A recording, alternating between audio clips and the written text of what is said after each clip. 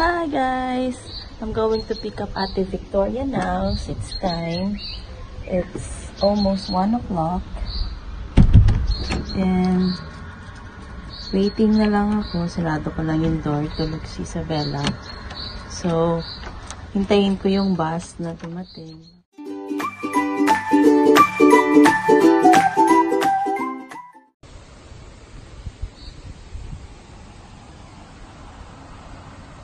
dyan manggagaling yung bus. So, I wait. So, this is our place. Like what I told you, nakatira kami sa bundok. So, di ba sobrang dalang ng mga dumadaan na sasakyan. And, um, yeah, liblib na lugar.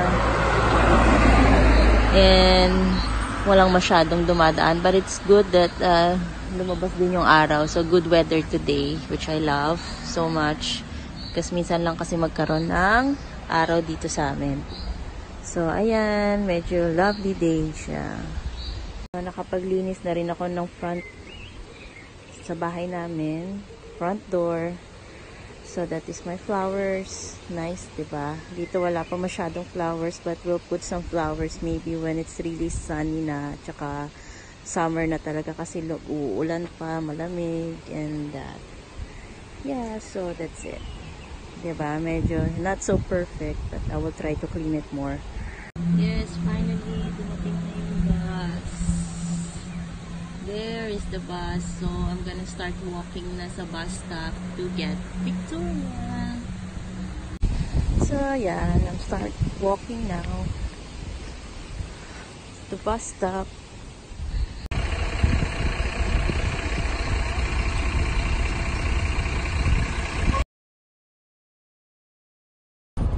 How's school? Good. Huh? Fun. Fun? What did you do today? Just play. And?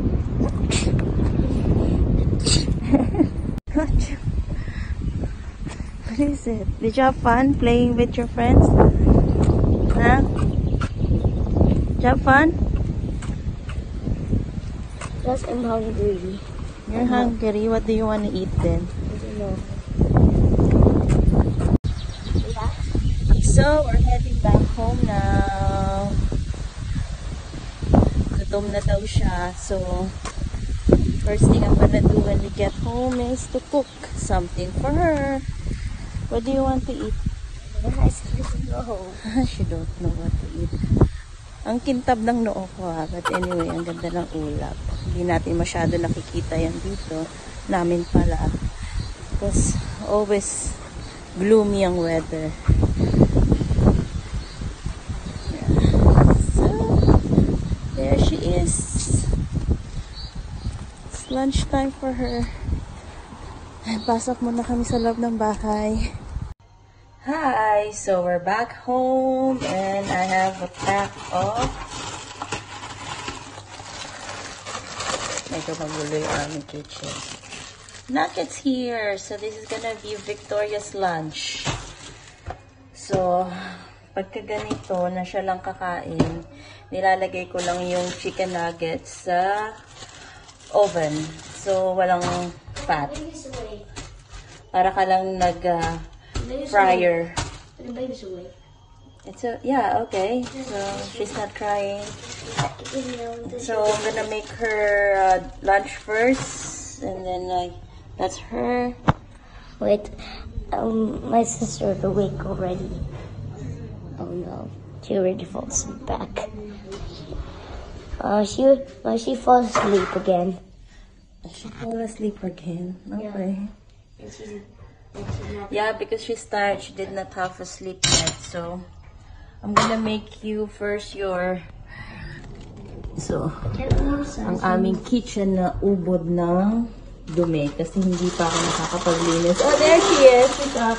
Okay, now she's up.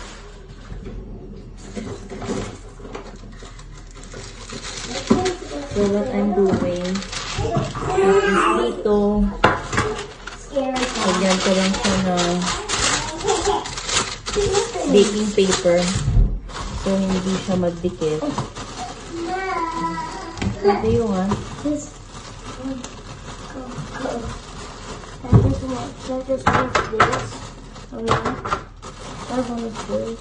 First, you eat your uh, lunch. Really hungry. I'm really hungry. Nainit na naman ang ulo ni Isabella. Mom, I'm really hungry. So, ayan na. Lalagay ko na siya sa oven. Yes, I'm doing it. I'm making your lunch. We'll put it in the...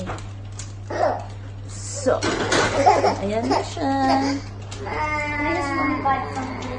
Mainit ang ulo ng bata kasi kulang yung tulog niya. So, yun lang. Lagay na natin and we wait and then she can eat. Yeah, favorite niya yan. Pinapapak niya. Parang ako lang ng bata.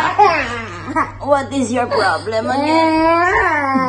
You still want to sleep more? Yes?